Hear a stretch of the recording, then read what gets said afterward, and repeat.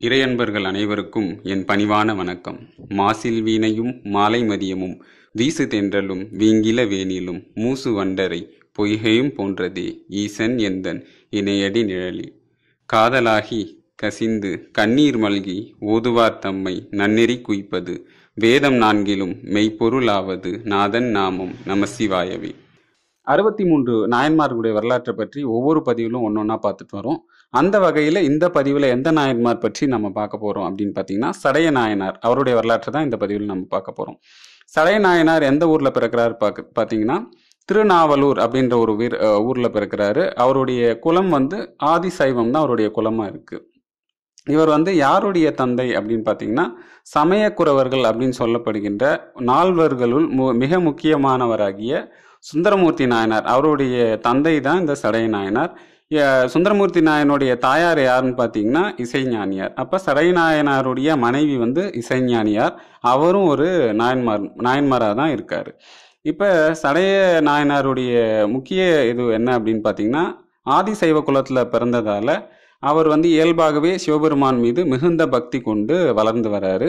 அவருடைய குழந்தை பருவத்தின் முதல் இளமை காலம் வரைக்கும் அதுக்கப்புறமும் பார்த்தீங்கன்னா எப்பயுமே சிவபெருமான் மீது மிகுந்த பக்தி தான் அவருக்கு இருக்குது அவருடைய இளமை காலத்தில் தான் இசைஞானியாரை மணக்கிறாரு. இசைஞானியாரும் சடைய நாயனாருடைய அந்த சிவத்தொண்டை பார்த்து தான் சிவபெருமானின் மிகப்பெரிய ஒரு அருளாசியாக அவங்களுக்கு வந்து சமயக்குறவர்களில் ஒருத்தராக கருதப்படுகின்ற நம்ம சுந்தரமூர்த்தி நாயனார் அவர் அவருக்கு சடைய நாயனாருக்கும் இசைஞானியாருக்கும் குழந்தையா பிறக்கிறாரு. இது மட்டும் இல்லாமல் சடைய நாயனார் வந்து இன்னொரு ஒரு முக்கிய ஒரு விஷயத்தை செஞ்சிருக்காரு. என்ன அப்படின்னு பார்த்தீங்கன்னா திருநாவலூர் அந்த பகுதியை ஆண்ட மன்னன் என்ன பண்றாரு? ஒரு நாள் அந்த ச சடைநாயனார் இருக்கிற அந்த வீட்டு வழியா போயிட்டு இருக்காங்க. அப்போ சுந்தரமூர்த்தி நாயனார் வந்து குழந்தையாக அந்த தெருவில் விளையாடிட்டு இருக்காங்க அந்த குழந்தைய பார்த்தோன்னே அந்த மன்னருக்கு ரொம்ப பிடிச்சி போகுது. ஏன்னா அவருக்கு குழந்தை கிடையாது. பிள்ளை பேர் இல்லை அவருக்கு.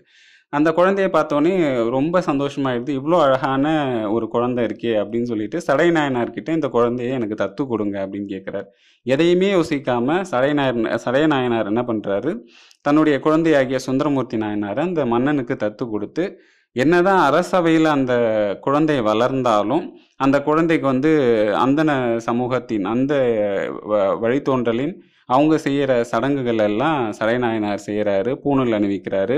அந்த குழந்தைக்கு தேவையான எல்லா கல்வி அறிவும் போதிக்கிறாங்க. போதிச்சு அவங்க அந்த குழந்தை வளர்ந்து அது இளமை பருவத்தை அடையும் போது அதற்கு தேவையான ஒரு துணையை தேடி சுந்தரமூர்த்தி நாயனாருக்கு வந்து திருமணமும் செஞ்சு வச்சதா சடைய நாயனாருடைய வரலாறு சொல்லுது. இந்த பதிவில் சடைய நாயனார் அவருடைய வரலாற்றை உங்களோடு பகிர்ந்துகிட்டதில் மிக்க மகிழ்ச்சி. நன்றி. திருச்சிற்றம்பலம்.